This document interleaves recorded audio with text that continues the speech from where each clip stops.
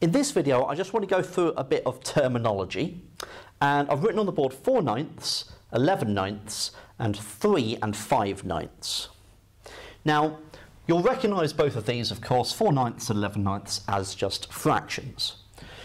However, we refer to 4 ninths as a proper fraction because the numerator is less than or equal to the denominator.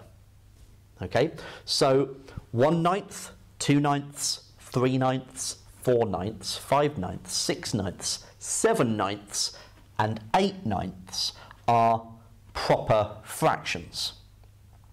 Whereas the moment I tick over onto 9 ninths, or 10 ninths, or 11 ninths, or 12 ninths, or a million ninths, these are referred to as improper fractions.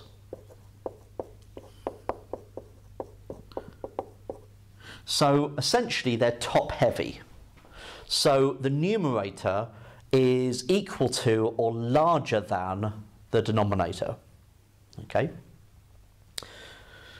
This final form, where you have an integer and a fraction, because you've got this mix of forms, we refer to that as a mixed number.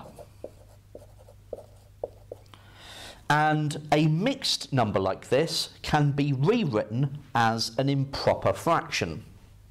So what we have is 3 wholes plus 5 ninths. So 3 wholes, so if we're working with ninths, one whole is 9 over 9. If you've got three of them, you must have 27 over 9. That is 3 plus 5 over 9 must make 32 over 9. And so this is now